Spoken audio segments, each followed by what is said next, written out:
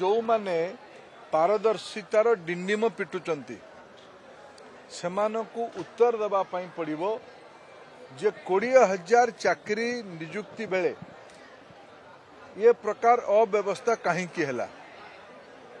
ଆଜି ଓଡ଼ିଶାର ଗଣମାଧ୍ୟମ ୟାକୁ ବୁଝେଇବା ପାଇଁ ମାହାଲ ମଣ୍ଡାକୁ ପ୍ରସଙ୍ଗ କରିଛି। ମାହାଲ ମଣ୍ଡା ପ୍ରୋକୁ ପ୍ରସଙ୍ଗ କରିଛି। ମୁଁ କାଲି ଦେଖୁଥିଲି ୟା ପରେ କିଛି ବନ୍ଧୁମାନେ ୟାର ଗୋଟେ ଟିପ୍ପଣୀ କଲେ ଯେ ଭାରତ ସରକାରଙ୍କର ଶିକ୍ଷା ବିଭାଗର ମାନେ ମୁଁ ଯେଉଁ ବିଭାଗ ଦାୟିତ୍ୱରେ ଅଛି ସେ ବିଭାଗର ଗୋଟିଏ ପିଏସ୍ୟୁ ଏ ପରୀକ୍ଷାକୁ କରେଇଛି।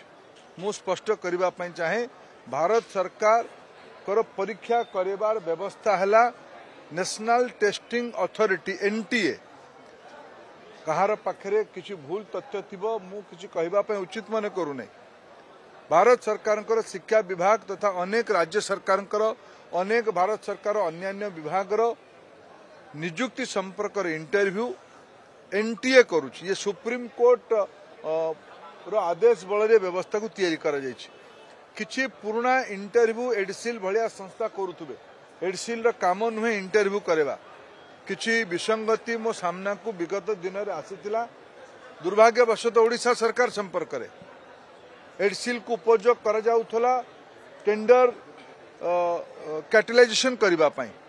ଯେତେବେଳେ ମୋ ଦୃଷ୍ଟିକୁ ଆସିଲା ତାକୁ ମୁଁ ବଡ଼ ସ୍ପଷ୍ଟତା ସହ କଠୋର କାର୍ଯ୍ୟାନୁଷ୍ଠାନ ଗ୍ରହଣ କରିଥିଲି। ମୁଁ କଥାକୁ ବି ଦେଖିବି। ଏଡସିଲ୍ର ବାହାନା ନେଇକି ଓଡ଼ିଆ ପିଲାମାନଙ୍କର ନିଯୁକ୍ତିର ଅସ୍ପଷ୍ଟତା କରିବାର ବାହାନା କେହି ନ ନେବା ଉଚିତ।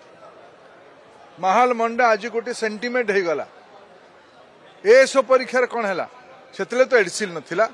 ଚାକିରି ପାଇଁ ଇଣ୍ଟରଭ୍ୟୁ କରଲ ପରୀକ୍ଷା କରଲ ପରୀକ୍ଷା ପରେ ସର୍ତ୍ତ ବଦଳେଇ ଦେଲ।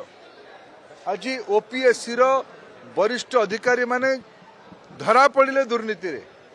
ତାପରେ ତାଙ୍କୁ ଦଣ୍ଡ ଦେବାର ବାହାନା କରିଲ ପେପରରେ ବାହାର କଲ ପୁଣି ମୁଁ ଏବେ କୁଆଡ଼େ ଶୁଣିଲି ତାଙ୍କୁ ପୁନଃନିଯୁକ୍ତି କରିକି ପ୍ରମୋସନ ଦିଆଯାଇଛି। ତେଣୁ ଓଡ଼ିଆ ପିଲାମାନଙ୍କର ସ୍ୱାର୍ଥ ସାଙ୍ଗରେ କେହି ନ ଖେଳିବା ଉଚିତ। जदि आपंक आम भिडी भल लगा तेब चैनल को लाइक सेयार और सब्सक्राइब करने को जमा भी भूलु नहीं।